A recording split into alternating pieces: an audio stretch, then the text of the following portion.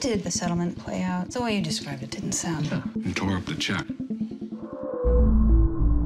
But I went into that room ready to make a deal. Just think about who had what to lose.